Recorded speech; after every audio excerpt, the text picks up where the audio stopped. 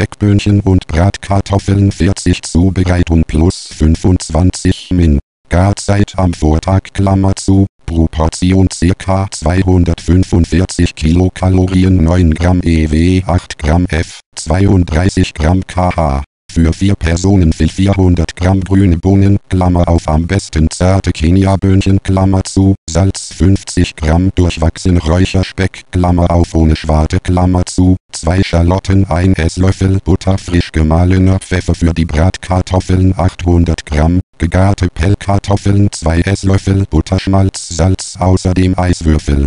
1. Die Bohnen waschen eventuell entfädeln, das heißt die Spitzen mit einem kleinen Messer abschneiden und dabei die Nähte die die Schotenhälften zusammenhalten, von harten Fasern befreien. Eine Schüssel mit kaltem Wasser füllen und ein paar Eiswürfel hineingeben. 2. In einem Topf 1 Liter Wasser aufkochen lassen, eine türkische Liga Salz hinzufügen und die Bohnen darin in 5 bis bis fest kochen. In ein Sieb abgießen und sofort für eine bis in das Eiswasser geben.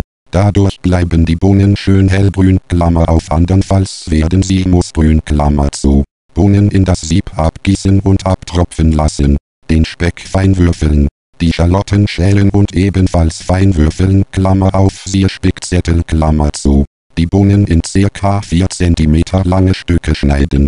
3. Die Kartoffeln pellen und in ca. 4 mm dicke Scheiben schneiden. Eine große oder zwei kleinere Pfannen auf mittlere Stufe erhitzen und das Butterschmalz darin zerlassen.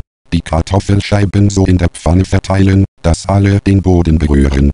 Die Kartoffelscheiben in 3 bis goldbraun braten, wenden und auf der anderen Seite in 3 bis fertig braten, leicht salzen, währenddessen für die Bohnen in einem Topf die Butter zerlassen, Speck und Schalotten darin bei mittlerer Hitze anbraten die Bohnen dazugeben und bei kleiner Hitze in 3 bis erwärmen, mit Pfeffer abschmecken. Bratkartoffeln und Speckböhnchen mit Rostbeef und Soße auf vorgewärmten Tellern anrichten.